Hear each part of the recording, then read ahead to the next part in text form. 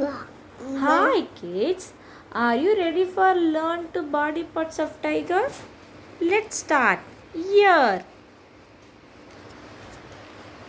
eye, whisker, mouth,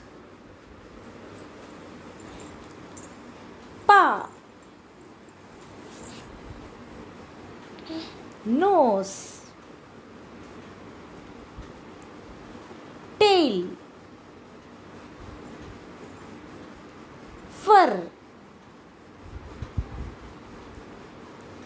claw, leg. Thank you for watching. Bye bye.